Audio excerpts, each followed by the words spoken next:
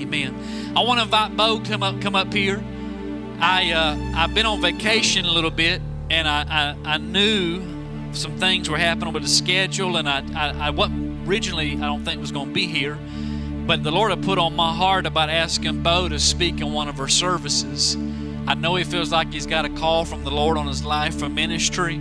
And uh, the Lord really just dealt with me. I was at a, a, beach house in Florida, and the Lord told me, Bo, He said, Somebody gave you a chance, Justin. I want you to give Bo a chance. And so that's what's happening today. I want, we're allowing Bo in his nine o'clock service to just to minister. Come on, somebody. Just a minister and preach and share whatever the Lord's put on his heart. He's going to be a senior this year at Wayne County High School, part of the football team. Incredible young man. He's grown up in this church. Uh, his mom's brought him here. I've watched his aunt bring him here, and it's just been incredible watching the Lord just grow him and use him. And so I want y'all to help me just give Bo a big old God bless you as he prepares to preach today. Love you, man.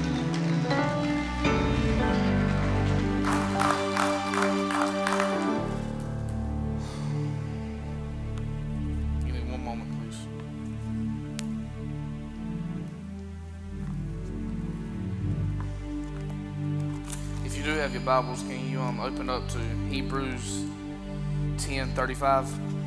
If you have your Bibles or you have your phone, whatever you want to use.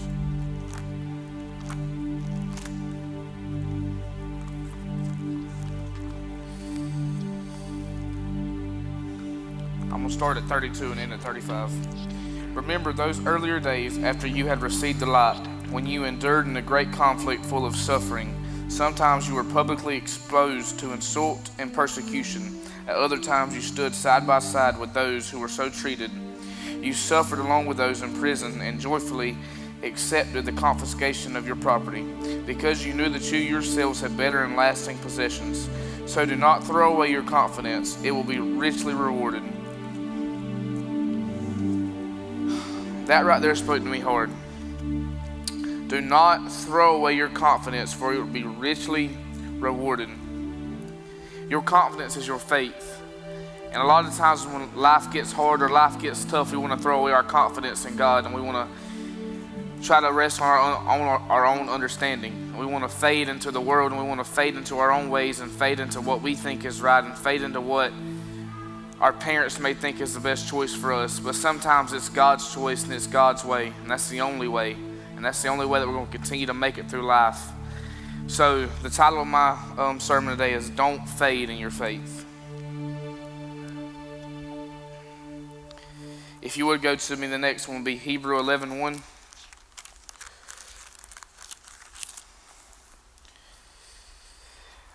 Now, faith is confidence in what we hope for and assurance about what we do not see. This is what the ancients were commended for. By faith, we understand that the universe was formed at God's command, so that what is seen was not made out of what was visible. Your faith is your confidence. If you do not have faith, you do not have confidence in God. You cannot tell me you do. Because our confidence is our faith. Our faith is our confidence. I'll come back to that in a minute.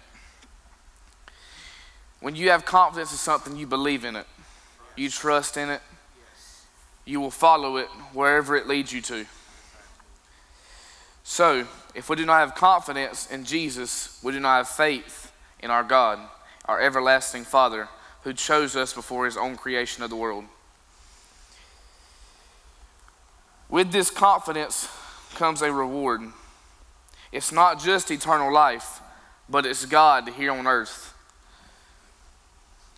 With God, you get a relationship you get a shield, you get a guard, you get a, you get a man that crushes fear, you get a waymaker. Whenever you're in that dark, that dark room, you get a light. When you're in that tough situation, he makes a way. You get a miracle worker. When you're in the hospital room, and you don't know what's going to happen next. You get a miracle. When you get in a wreck, you get in a car accident, God was there with you. He was the miracle that kept you alive. So just remember that you get a reward. Now, that's not what we have it for. But just remember that there is something that's going to come out of your confidence, and there is something that's going to come from your faith. And it's, your faith does have a purpose.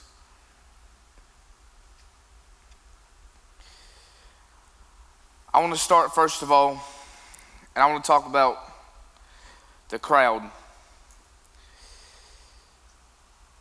The crowd oftentimes gets in our way. I know sometimes it has for me. I like to fit in sometimes. I like to have fun. I like to laugh. I love to praise my God. But sometimes we can fall into the crowd, and the crowd is what separates us from the Lord. If we don't have our heart right with God, if we don't have our confidence. So I'm going to talk about the story of Barabbas and Jesus.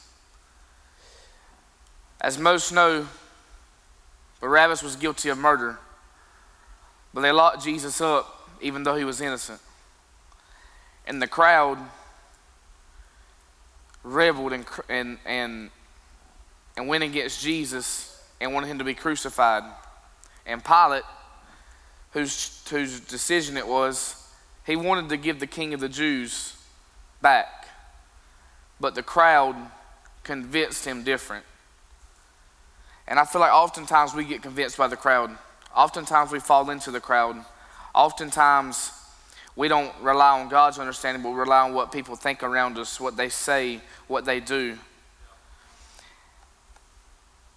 And that, and that decision that he made to not release Jesus led to the death of Jesus.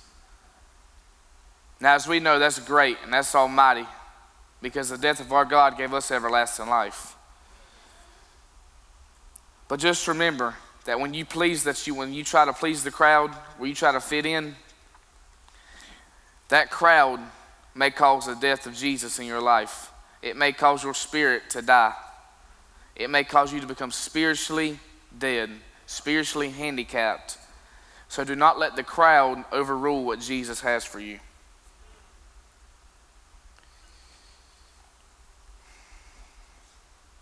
With faith comes great personability. With faith, you have to get personal. If you have confidence, with, if you have confidence in something, a sport, a mentor, a motivational speaker, you're personal with them. They, they relate to you on a personal level.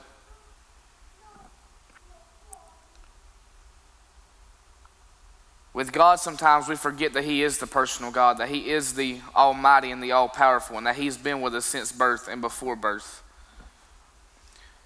We forget that God's been with us through the valleys, through the hard times, through the good times. He's been with us since we was young, and He's been He's now with us even if we're old. He has never left our side.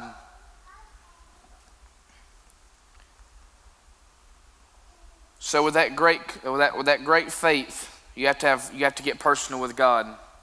You don't you don't only get personal in this in this sanctuary. You don't only get personal when you're around people and when you're in a church. You got to get personal when you're by yourself. You've got to strengthen your faith on your own. You can always rely you can always rely on the next person to come pray for you. To be louder than you so you can hide your worship. No, let your worship scream because that's what God loves. God loves your worship. He lo- it, it may some of us in there may cannot sing. But I tell you what, I'm gonna raise my voice because my God has done some great things in my life. Some amazing things in my life. So if you would go with me to Isaiah 41 through 8. Let me get to it. Comfort, comfort my people, says your God. Speak tenderly to Jerusalem and proclaim to her that her hard service has been completed, that her sin has been paid for, that she has received from the Lord's hand double of, for all her sins, a voice of one calling, In the wilderness, prepare the way for the Lord. Make straight in the desert a highway for our God. Every valley shall be raised up, every mountain and hill made low. The rough ground shall become level the rugged places a plain, and the glory of the Lord will be revealed, and all people will see it together, for the mouth of the Lord has spoken. A voice says, Cry out. And I said, What shall I cry? All people are like grass, and all their faithfulness is like the flowers of the field. The grass withers and the flowers fall, because the breath of the Lord blows on them. Surely the people are grass. The grass withers and the flowers fall, but the word of God endures forever.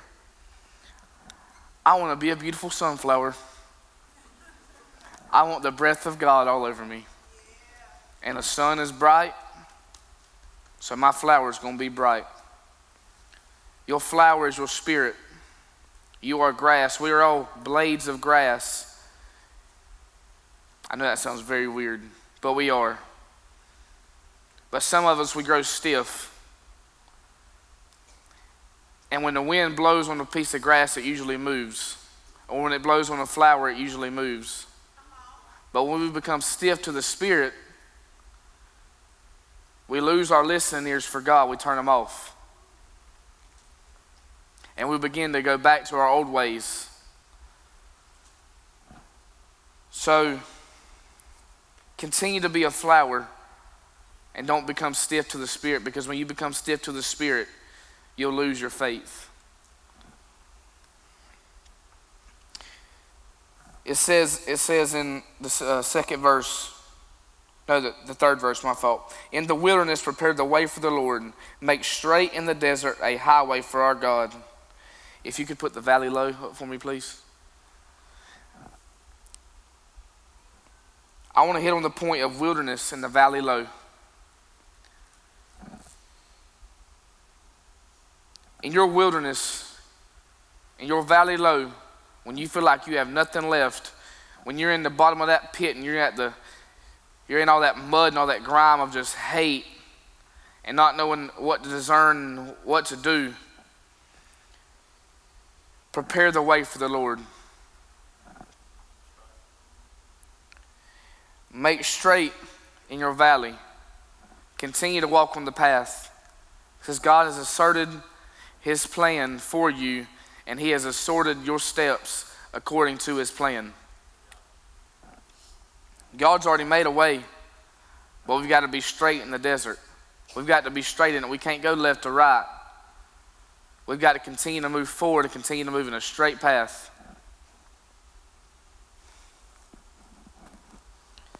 We have to make a highway for our God. Sometimes we want God to move in our life, but we're not, we're not willing to sacrifice some things. We're not willing to move things out the way so that He can move.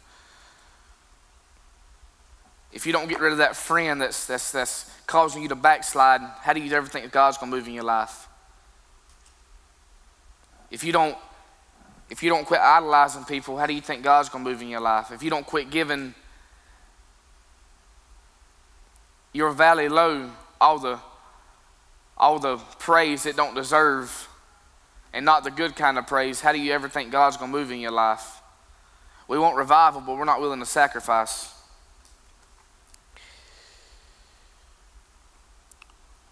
So, as I say, prepare the way for the Lord, I also say that we are a bunch of books, and we have been written, each one of us, in a unique and special way. Our cover should all be bright. It should all be a light to others. When they look at us, our, our cover shines. Now, when they open the book, it may be a little bit of pain, it may be a little bit of hurt, it may be a lot of pain, it may be a lot of hurt. But through our cover, the book still shines.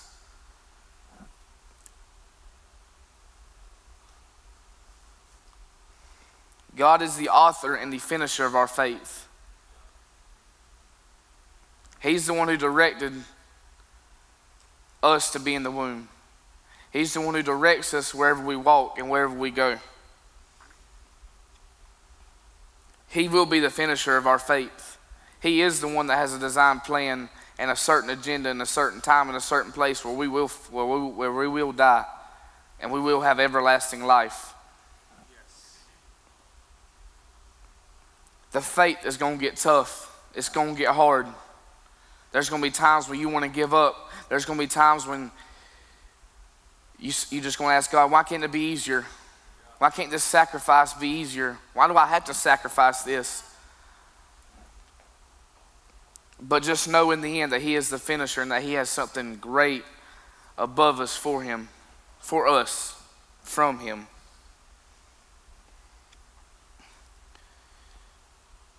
My next point is don't let your faith grow fragile. We often hear the, the, the, the term steadfast. Don't let your faith become fragile. Don't let your faith be easy to move. Because when your faith is fragile, your friends and your family that may not be living the same life as you, it becomes real easily to fall into temptation and to listen to them more than we listen to God. So continue to let your faith be steadfast and be strong in what God has planned for you.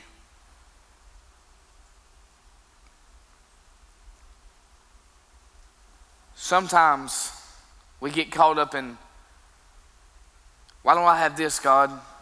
Well, I need this to have the faith, God. Well, if I don't have this person in my life, if I don't have this preacher, this mentor, this book, whatever it may be, this, this iPhone, if I don't have this iPhone, I can't, I can't, I can't live, God. I can't, I can't still be in your word.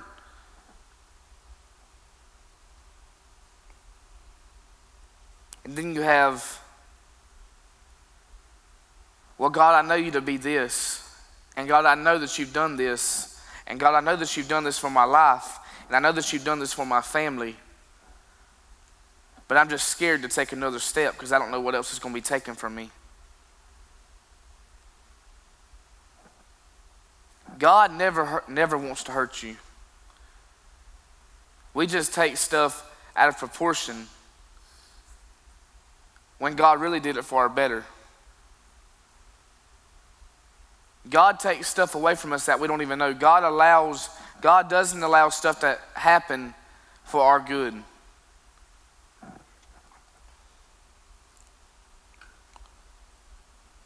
So ask yourself, what do you know to be true?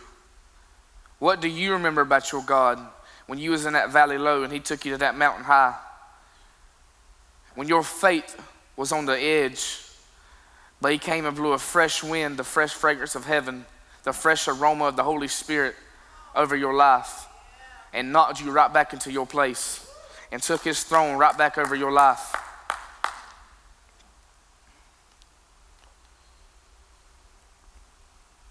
Be humble. Be humble in your faith. Don't be hypocritical in your faith. Don't be derogatory in your faith. Be humble in your faith. Be courageous and be righteous, but also be helpful in your faith. Don't hate on another because their faith isn't as good as yours, or don't think that you're better than them because your faith may be a little bit stronger. Instead, we should love everyone as God loved us, and we should help everyone as He helped us. So when we're at our mountain high and somebody else is in their valley low, we should give a helping hand. Now, we're not their Savior, and we're not their Almighty God because there's only one, and we know who that is. But we can help them, we can push them to get to where we're at.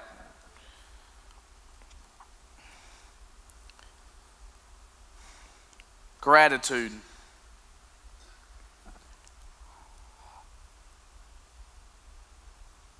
Be grateful for what God's already given you. Be grateful for the gifts He's given you. Be grateful for the little, you may not have a lot of family, you may not have a lot of support, but be grateful for the little bit of support that He has given you. Because that little bit of support is going to get a long way.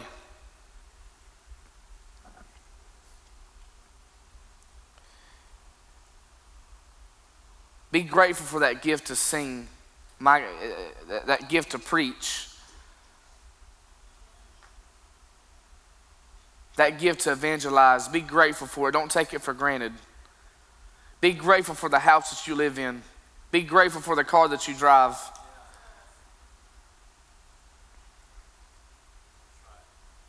You may not have AC for a week, but God survived 40 days with no water in a desert where it was dry. So I believe we can go one week without AC without complaining. I believe we can go one week without a car, but we can still give our all, our, all of our praise to Jesus. Because he's, been, he's been there with us even when we didn't want him there. He's been there with us even when we pushed him away.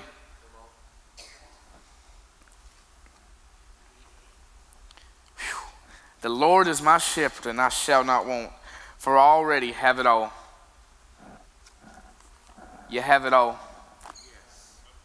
That's all that you need right there.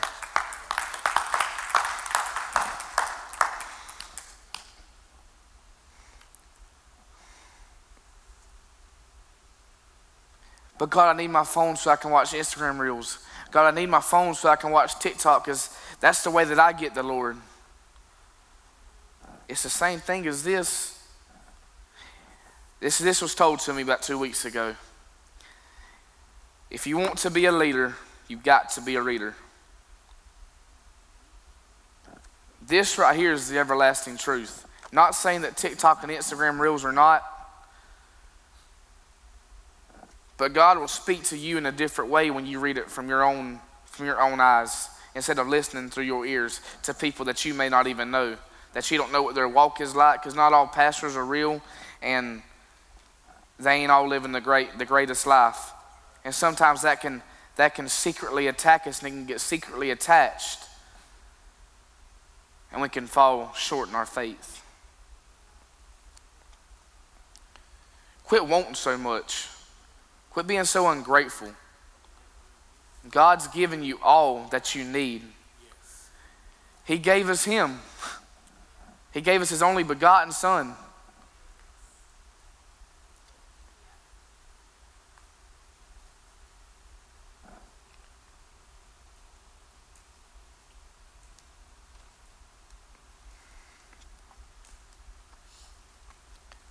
Put the oil in your lamp. Put the armor on your body. Equipped yourself spiritually with the word. And let God lead you. In the wilderness, prepare the way.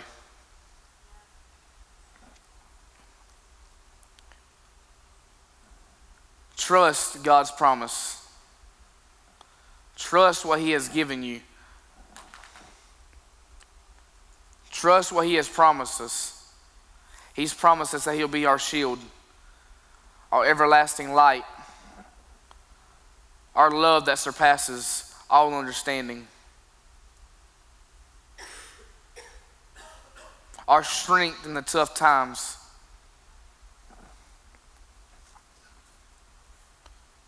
Let God lead you. Quit trying to lead yourself because you do not know it all.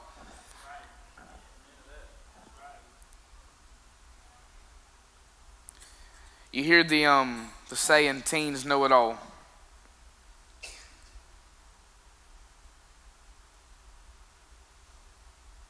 Sometimes the parents take it out of context.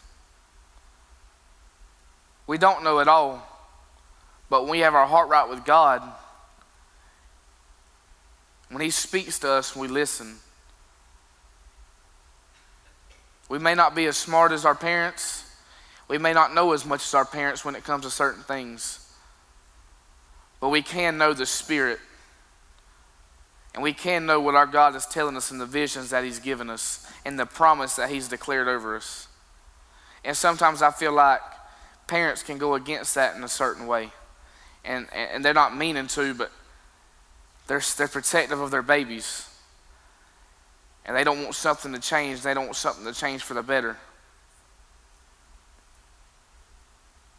But sometimes that sacrifice or that hard change that you never think would, that you never think would happen. My baby's not going to the biggest college. My baby's not going to be the highest paying career because I was told in this, in this world you need money to live.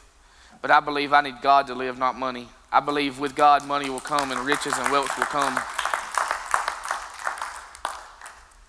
So I just, I pray that we all let God lead us and quit trying to lead ourselves. Remember carefully. Remember carefully. When we start to go on rants about, God, you didn't do this, you didn't do that, remember carefully what He did do. God, you didn't give me this. Remember carefully what He did give you. God, you didn't allow this to happen. Remember carefully why He didn't allow it to happen.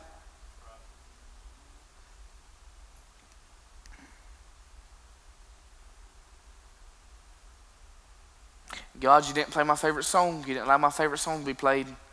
Remember carefully, David praised him with no worship band. David sung songs unto the Lord. Remember carefully that God has got your back, that God is always with you, that when you are confused and you do not know where to go, you do not know what the next step in life is for you, remember carefully that God has asserted your plan, He has assorted your steps. Remember carefully that God's faith is way bigger than ours, that His faith in us is way bigger than ours. We have been called to a great purpose, each and every one of us.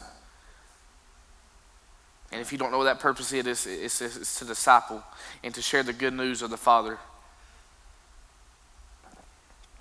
So just remember carefully what God all has done for you. Next, I'm going to be reading out of Isaiah 46, 8 through 9. If you have me, if you if you're with me, you turn to your Bible. They lift to their shoulders and carry it. They set it up in its place, and there it stands.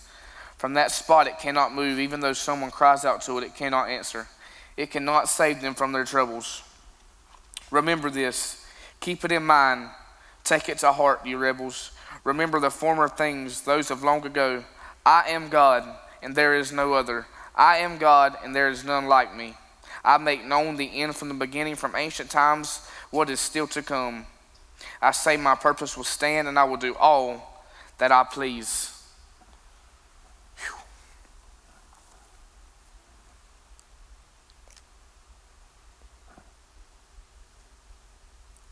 He is God. There is none like him.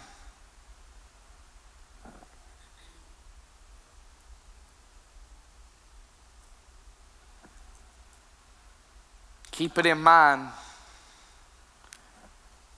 that God was there in the midst of your trial. Take it to heart that God was spiritually prepared and spiritually ready for you when you weren't spiritually prepared and ready for yourself. And He drug you through that valley.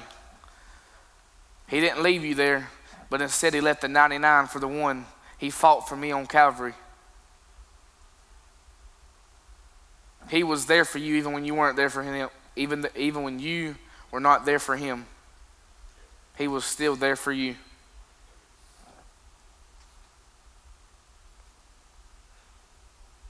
He does things when he wants to do them. He lives on the timeline of he can do anything that he wants to at any time that he wants to when he pleases. That's why his agenda is so perfect. Because he knows the exact right time and he can do it in the exact timing of what he wants to do it to. We live on a 24 hour time schedule. Our God lives on an everlasting life schedule. He doesn't, he doesn't, it don't matter if it's 10 a.m., 4 a.m., 3 a.m., 2 p.m., you're in the middle of a work session, he don't care. He does what he wants, when he wants, when he pleases, because he is the Almighty God. He knows what's best for us, and he has faith in us, as we should have faith in him.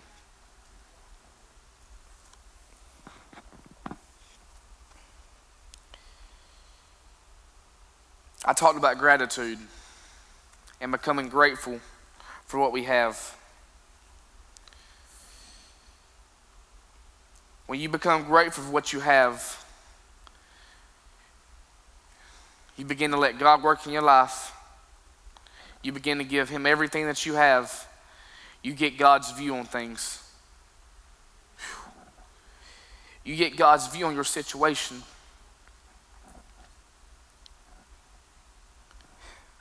You're in that trial and that battle. You say, bump rely on everybody else. Just give me your view, God. And that may not be everything that you want to see.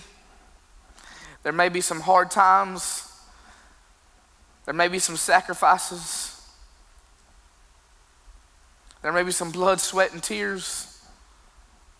But God, just give me your view. Just allow me to see what you see. give me a vision in the valley. When my eyes are blind and I cannot see, Holy Spirit, open my eyes and be the lamp unto my feet.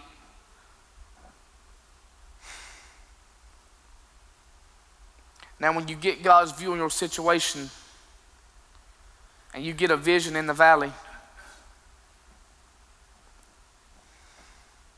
once you've been spending that time alone in prayer, you've spending that time alone in fasting and praising the God when nobody else is looking. You know, I've, I've always been raised on this champions are made when nobody's looking.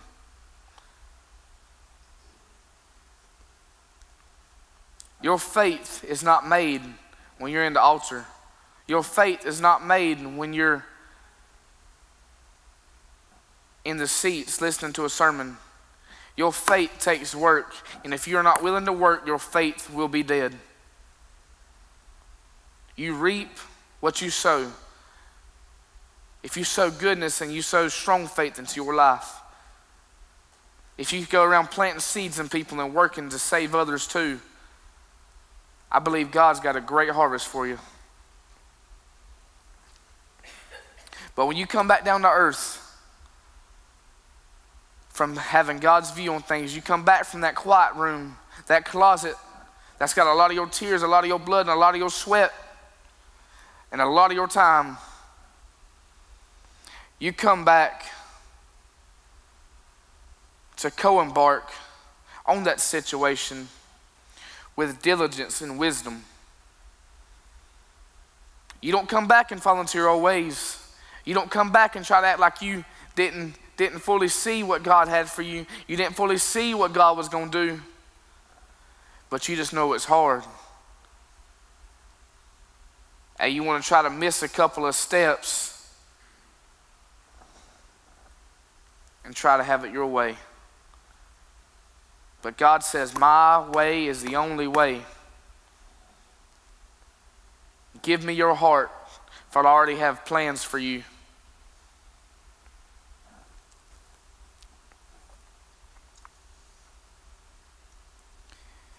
God gives visions in the valleys.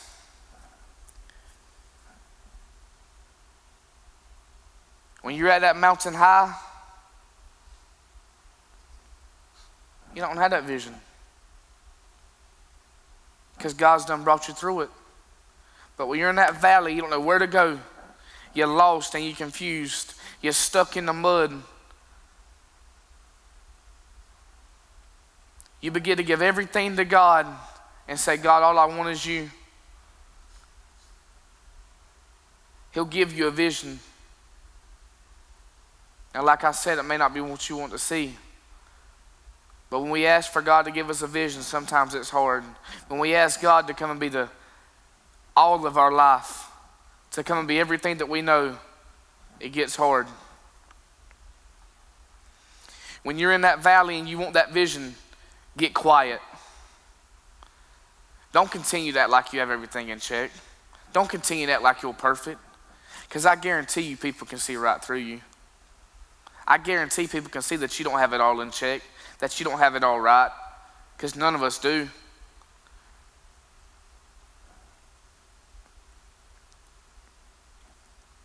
Get quiet. Become still in the presence of God. Begin to spiritually prepare and ready yourself. Get quiet and read the word. Get quiet when that worship song is playing and just let God speak. Because He can move mountains when we hush our mouth. He can make miracles happen when we just hush our mouth and just be quiet and listen to Him. He can change that depression into joy. He can change that anxiety and that fear into happiness and love and courage when we just hush and we just let God talk to us.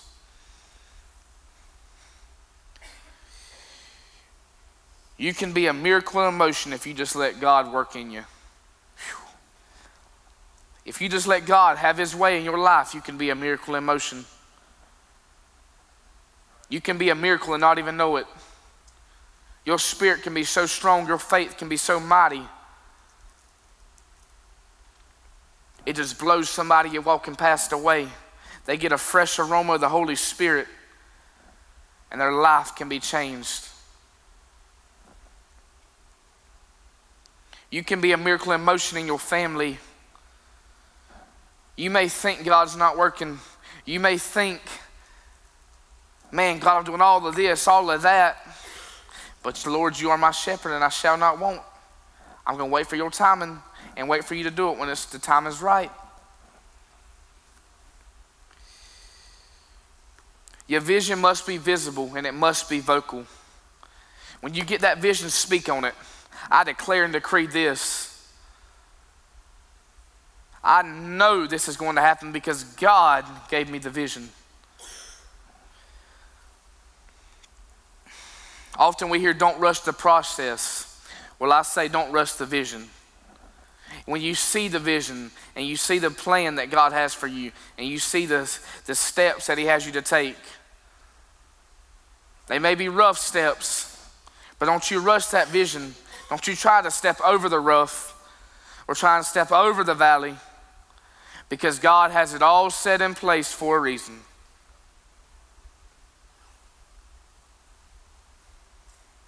Remember that the vision is from God's view. It's not from your view, it ain't from your family's view, it ain't from your mama's view, it ain't from your daddy's view, but it's from God's view. God gave you the vision and He's way above us, and He knows everything that we're going to do. He knows everything that our friends are going to do. He knows everything that's going to happen to us. He knows everything that's said about us. He knows everything that's, that's looked at us about. He knows everything that we've been judged on. Remember that the vision is from God's view, and that you should trust in the vision. If you have faith and you have confidence, then you should have trust.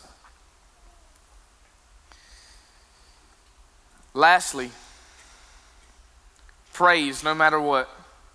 Don't let your praise die, and don't let your praise run dry. Continue, even in the midst of the valley, even in the midst of the storm, even in the midst of the trial, continue to praise. Continue to have faith in God.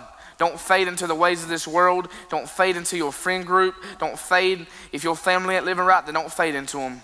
It's a hard, it's a hard reality you have to get. It's a hard thing that you have to realize that sometimes your family is not meant for you in that season. And that sometimes you have to evacuate the premises and you've got to change your environment, or else nothing will change and your faith will not become stronger. So let God work and let God lead. Continue to have faith. Don't let your rail, don't let your well run dry. You can go and come on up, Pastor MK. Don't let your faith run dry. Don't let your spirit be dead, but continue to praise the Heavenly Father no matter what. So, if we could all stand to our feet.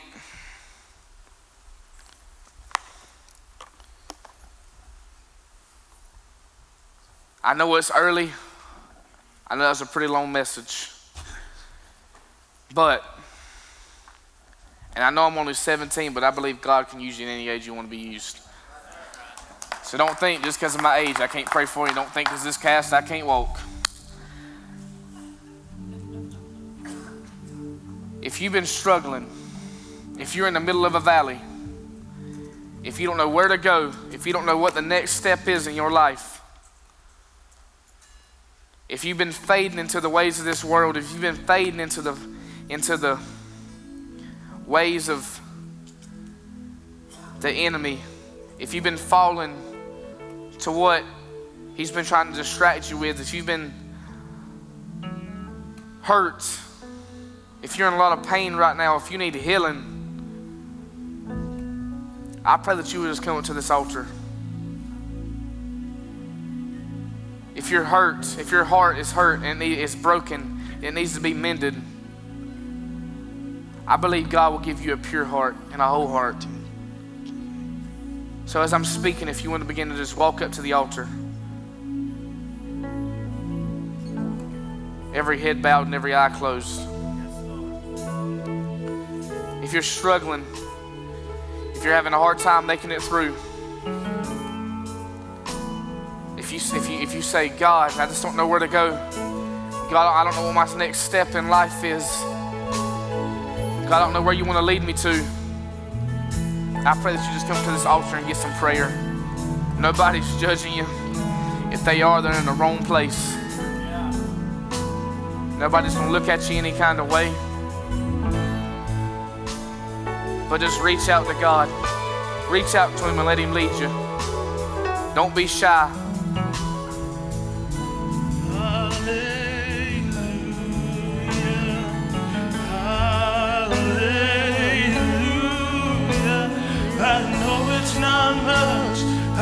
Nothing else fit for a king except for a heart singing hallelujah,